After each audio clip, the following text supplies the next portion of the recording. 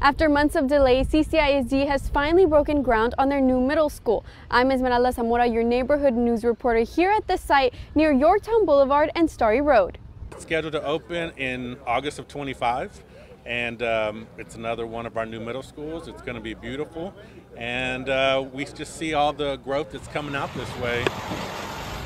For now, CCISD is calling this the Southeast Middle School. Superintendent Roland Hernandez says this new school will relieve the crowding of existing schools and help families moving out this way be closer to their campus. A couple years ago, we had to start rezoning students out of Kaffie to another middle school just to give them space. But with construction comes traffic congestion. District 5 Council member Gil Hernandez says once the expansion of Yorktown Boulevard going towards the Mudbridge begins, this may be an issue. We'll probably have the an accurate time frame as to how long it's going to take, but I think the projection is somewhere between 18 months and two years.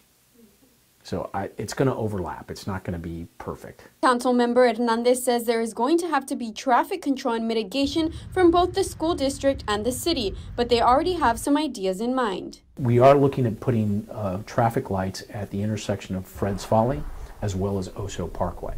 So that'll allow for protected intersections going in and out of that where the school is at.